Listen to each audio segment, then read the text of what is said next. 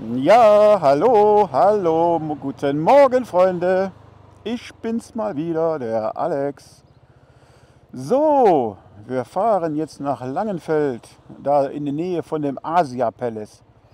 Da gehen wir aber diesmal leider nicht essen, sondern ich treffe mich da mit dem Forza Chris. Der braucht nämlich einige Sachen für seinen Roller und der hat noch keine Navigation und möchte sich auch eine Navi-Halterung holen. Und zwar bei Louis.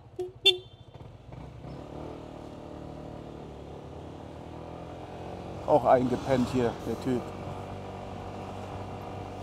Ja, und da fahre ich mit ihm sozusagen. Ich habe ja eine Navi-Halterung. Mit meinem Navi fahren wir dann nach Louis. Ja, und fahren da ein bisschen Sachen einkaufen. Ich weiß ja nicht, was er so alles holen möchte, aber wird wahrscheinlich einiges sein. Ja, schauen wir mal, ja.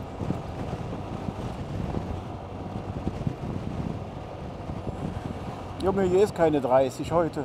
Ach ja gut, wir fahren ja schon 46.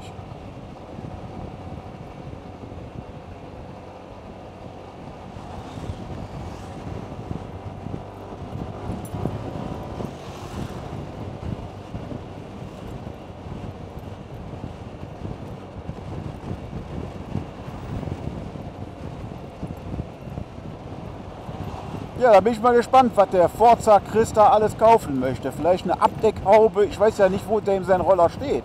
Ob der draußen steht, ob er sich ein bisschen Motoröl direkt holen möchte oder verschiedene andere Sachen. Schauen wir einfach mal, ja.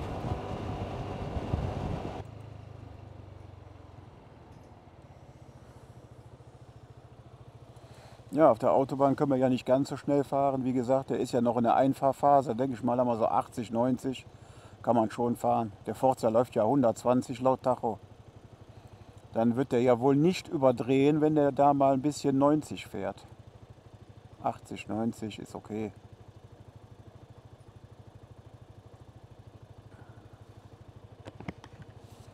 Gucken wir mal. Natürlich heute Bombenwetter. Heute Nachmittag soll es wieder regnen. Jetzt soll es erstmal trocken sein. Ja, Aufnahmetechnik von der Kamera finde ich wird immer besser. Ich bin immer so Feinheiten da am rausfummeln, da mir ja keiner irgendwie so eine Einstellung sagt, wie die das machen.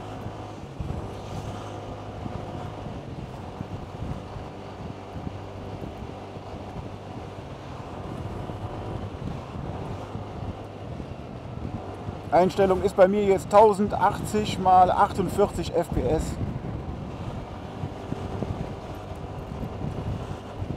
Und Rocksteady, aber nicht Rocksteady Plus, sondern nur Rocksteady. Aufnahmetechnik weit, aber nicht mehr ganz weit, so wie früher.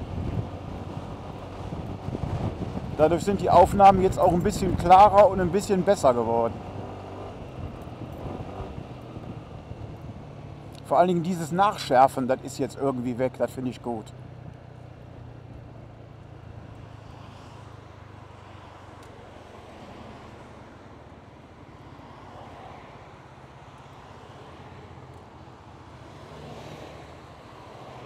Ja, ja. Ja, da wollen wir mal gucken, dass wir jetzt nächste Woche vielleicht den Rollertreff da organisieren. Ja, ich denke mal, da wahrscheinlich, vielleicht ist es ja auch ein bisschen warm, ein bisschen schön. Morgen war mir zu risikoreich, da sollte ja wieder zwei, drei Mal tagsüber auch regnen. Und ich möchte nicht, dass wir uns da beim Regen treffen. Da kommen dann wieder zu wenig. Komm, Junge, gib ein bisschen Jas hier. Äh. Wofür habt ihr die ganzen Hubraum und die ganzen PS?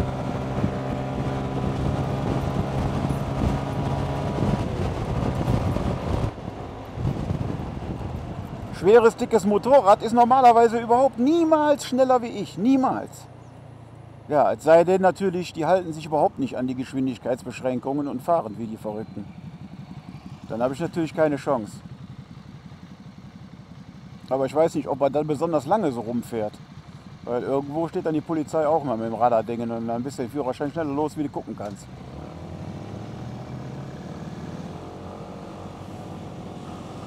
Also ich finde, so ein bisschen an die Geschwindigkeitsbeschränkung sollte man sich schon halten. Mal 10 mehr ist ja okay. Aber die Raserei da.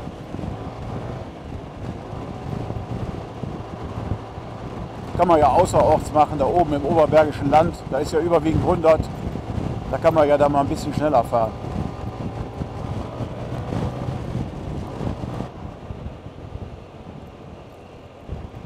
Ja, was ich jetzt unbedingt machen muss, das ist die Fliehkraftgewichte, muss ich unbedingt wechseln. Die sind jetzt fast 14.000 Kilometer drinnen. Und ich muss mir die unbedingt mal angucken, ob die gewechselt werden müssen. Die laufen noch unheimlich gut. Ich habe ja die Dr. Pulli drin, da bin ich so zufrieden mit. Unglaublich, wie gut diese Fliehkraftgewichte da laufen.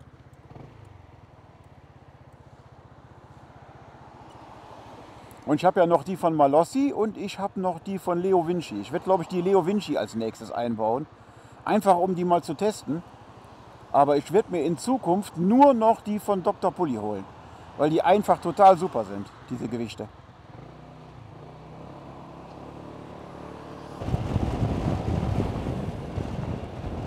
Also wie gesagt, die Fliehkraftgewichte da von Dr. Pulli, die sind spitzenmäßig. Also bis jetzt nur gute Erfahrungen damit gemacht. Laufen super, laufen die. Vor allem, ich merke auch gar keinen Verschleiß irgendwas. Das ist irgendwie wie am ersten Tag fast. Ja, ziehen immer noch gut hoch, alles Mögliche.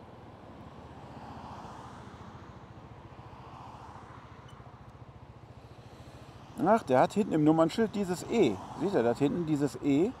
Das ist ein Elektrowagen, Elektrofahrzeug. Ein Jeep.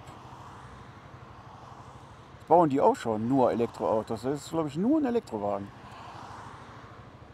Na, ich halte ja von dem ganzen Elektro-Gedöne, halte ich ja nicht viel, ja. Ist ja allgemein bekannt, dass ich da nicht viel von halte. Vor allen Dingen, wo soll denn der ganze Strom herkommen, die demnächst die ganzen Autos brauchen, wenn die ganzen Verbrenner weg sind? Ja, ist überhaupt nicht zu schaffen.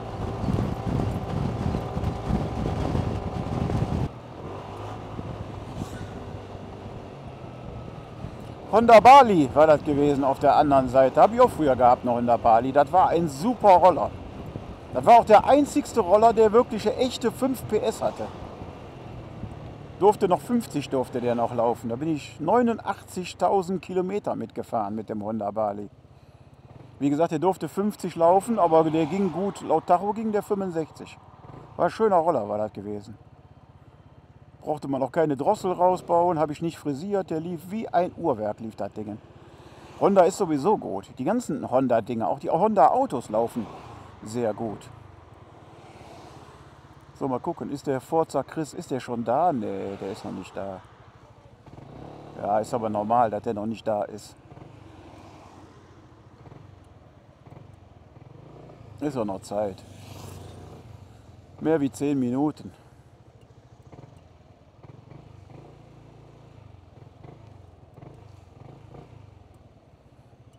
Ach, kommt er da vielleicht? Jo, da ist er sogar. Äh. Das war er gewesen gerade. Da fuhr er gerade vorbei. Ja, da ist er, der Forzack. ja, komm, sehen wir mal zu, da wir da hinten erstmal anhalten kurz. Wenn die mal fahren hier.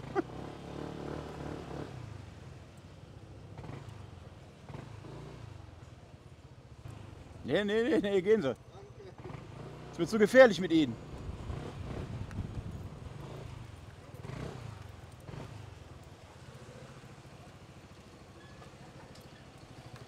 Aber der sieht schon schön aus, der Roller. Ja, wenn du da so fährst und so, hör mal, traumhaft. Ich hab dich ja gesehen, wo du da angekommen bist. Ja.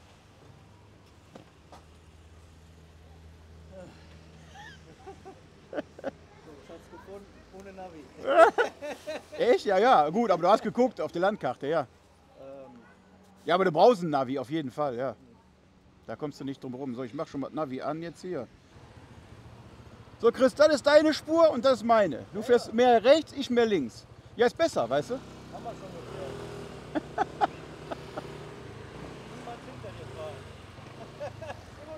geklärt. ja, ich, von, von hinten will ich nicht, weißt du? Ich kenne das, wenn Typen sich von hinten anschleichen, das kenne ich. Das ist gefährlich.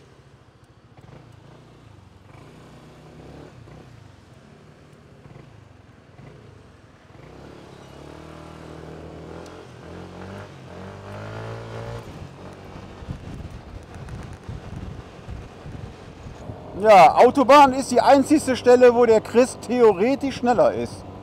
Weil der läuft 120, meiner läuft 115. Aber das ist ja auch egal.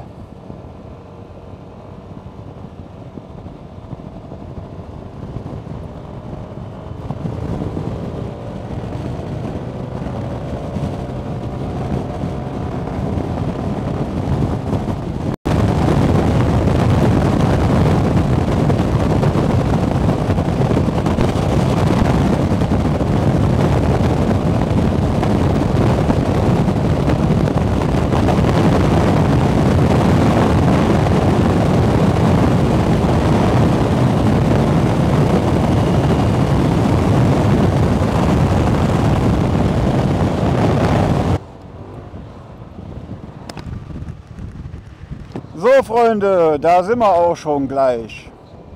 Louis Motorradfachgeschäft in Köln. Pesch im Gewerbegebiet. Kenne ich schon auswendig den Weg.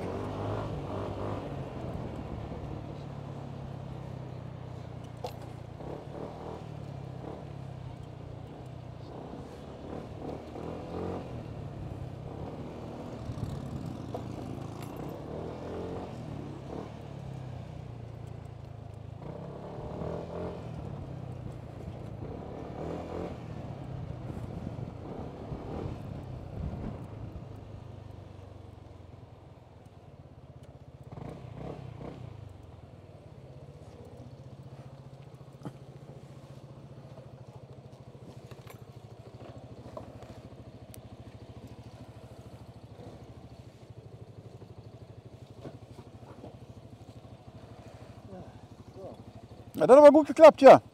Du fährst aber ziemlich gut, ja, dafür, dass du erst, äh, so das erste Mal sozusagen Roller fährst. Ja, das heißt doch gar nichts. Und manche haben auch die Prüfung bestanden, die fahren wie die letzten Eierbären. Ja, die fallen ja bald um in der Kurve und alles, verstehst du? Das heißt nichts, wirklich.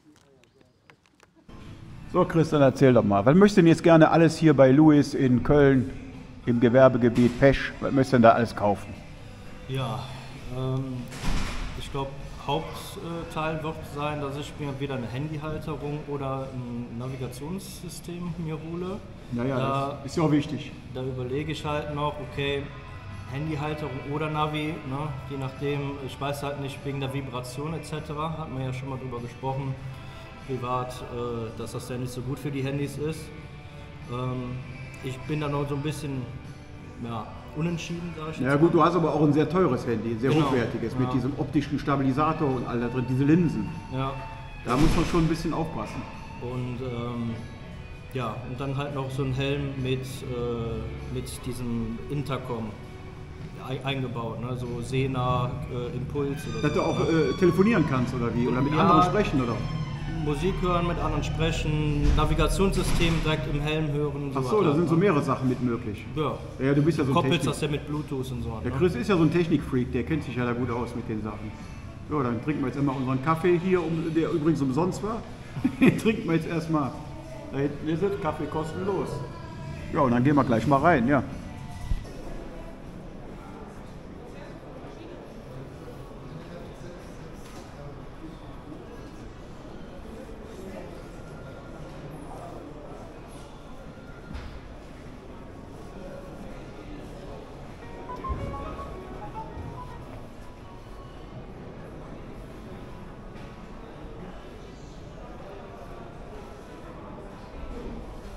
Tja, der Chris sucht immer noch seine Handyhalterung.